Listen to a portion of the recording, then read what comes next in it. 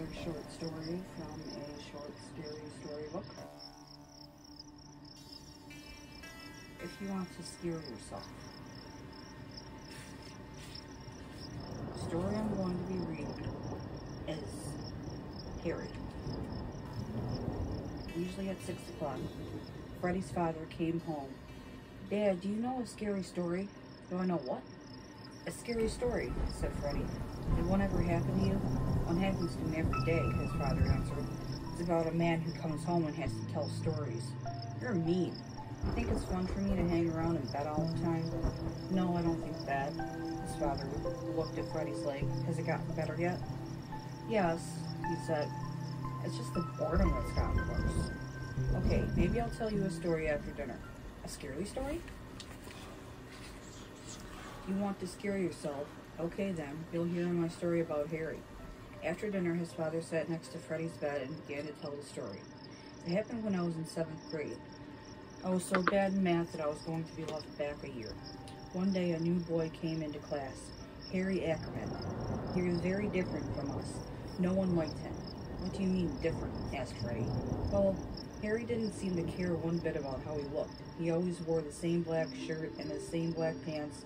Hair was down to his collar and looked as if he'd never washed it, and his face was an unhealthy pale color, and he smelled so peculiar that no one wanted to sit next to him. Except when we had a math test, because in math, Harry was the best. He could even stump the teacher with his questions. Of course, Harry soon noticed that I didn't have the foggiest idea about math, so a couple of times he su- suggested that he would be glad to tutor me, and he didn't even want to be paid for it. He turned his offer down every time. Something inside me kept telling me to say no, but one day when an exceptionally hard assignment was due, I let myself be talked into studying with him. You won't regret it, Harry he said in a rough voice. Where shall we meet? I asked him. At your house? No, he said quickly. My place is no good. But what about at your place? Do you have your own room? I nodded. And do your parents leave you home alone sometimes? Yes, my mother cleans people's houses in the afternoons, but why do you want us to be alone? Why? Harry gave a hoarse laugh. Because we won't be distracted then. Then that seemed reasonable enough at the time, although I didn't feel find the idea of being alone in the apartment with Harry especially appealing. But then I told myself Harry was just a classmate, a boy my own age, and I arranged to meet him that afternoon at four o'clock. My mother left the apartment, and right after her, doorbell rang. Harry stood in the doorway a half hour early. I suspected he had been watching from the stairwell, but I didn't say anything. Went to my room. I noticed that the unpleasant smell coming from Harry had gotten stronger. I suddenly felt as if I couldn't breathe, and I yanked the window open. Harry watched me. Is something wrong? he asked. No, no, I said quickly, and sat down. We opened our books, and Harry began to explain the math problems to me. After we worked at, for an hour, Harry said that was enough for one day. He was right. I was so exhausted I was falling asleep over my notebooks. When I opened my eyes, Harry had disappeared. I looked at my watch. It was a little past six, and I could hear my mother coming home. The next day in school, I was still tired, but when it was my turn at the blackboard, I was I was able to figure out the math problem that Harry had explained to me. That afternoon, Harry and I studied together again. We sat beside each other at the big table in my room and did more problems. This time, I hardly noticed Harry's unique aroma, and I had also gotten used to his strange hypnotic voice. Harry was an excellent tutor. For the first time, I felt that math might be a subject I could learn from after all. We made more progress than the day before, but once again I fell asleep. Harry was gone when I woke up. I happened to look at my math, my math notebook, and in there, right under the last problem we did, were two little spots of blood. I checked my hands and I couldn't find any cuts. Next day we had a quiz. I managed to solve more than half the problems.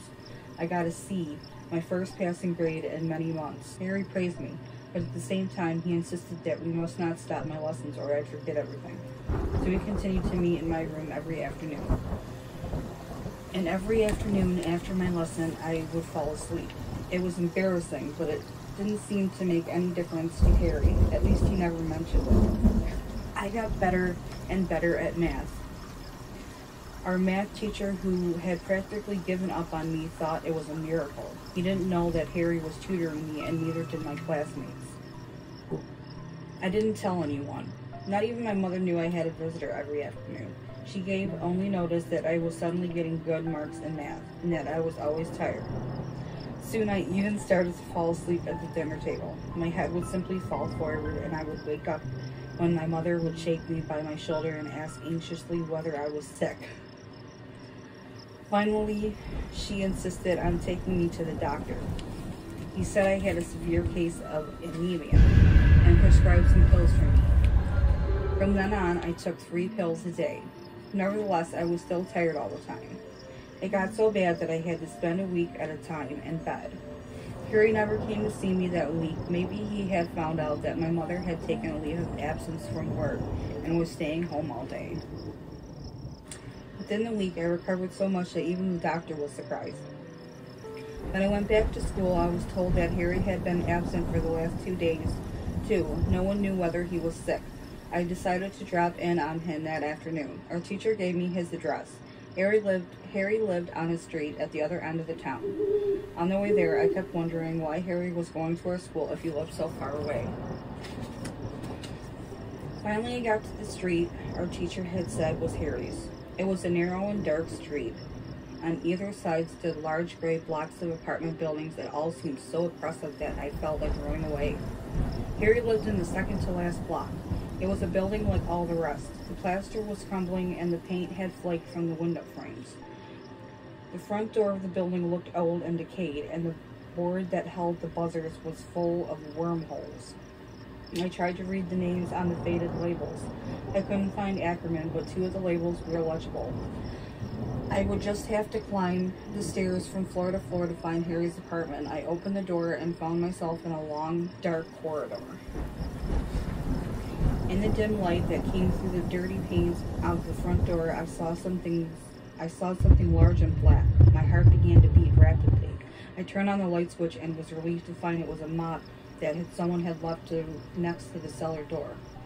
I walked on, but I couldn't find the name Ackerman on any door on the on the first and second floors. So I climbed the rickety stairs and that rattled and creaked with every step up to the top floor. Wieland, it said on the left door. F. Stein on the right one. After a moment's hesitation, I rang the Stein bell. A young woman with a baby in her arms opened the door. She looked at me suspiciously. I'm trying to visit a classmate, I said, embarrassed. Yes, so? She asked unkindly. His name is Harry, Harry Ackerman. Don't know him. But he's supposed to live in this building, I said. She shrugged her shoulders. Go ask the Whitelands. They've been living here for 30 years. We just moved in six months ago. Without another word, she slammed the door shut. I rang the Wieland bell. After a while, I heard sh- a shuffling footsteps. Who's there? asked the voice behind the door. I'm looking for a classmate, I answered. Harry Ackerman? The door opened and I saw an old man. An unusually large, pitch black cat wove around his legs. They won't live here. They don't live here anymore, he said. But our teacher gave me this address, I replied. Harry Ackerman, the man spat out. It sounded as if he didn't think very highly of Harry. His poor mother. His poor little sister. I started to get those goosebumps. Tell me what happened to them, I said. Gone, he said tonelessly. All gone. How do you mean? They both got sick. Chlorosis. Chlorosis, I repeated at a loss. First his mother had it. She got weaker and weaker until it was too late. Then his sister got it, and it wasn't two weeks before she was dead. Dead? Yes. Suddenly I felt sorry for Harry. I had never guessed that he was having problems at home. Was Harry sick too? The old man laughed bitterly. Not him. On the contrary, he got stronger every day. He seemed to be thriving. Some of us here in the building even thought he broke off and added in a whisper. Of us thought he had something to do with his mother and sister's illness. How could. Anyway, Harry disappeared the day his sister died. He disappeared? I asked, astonished. Yes, I haven't seen Harry since, but he's in my class. The old man looked at me and smiled mockingly.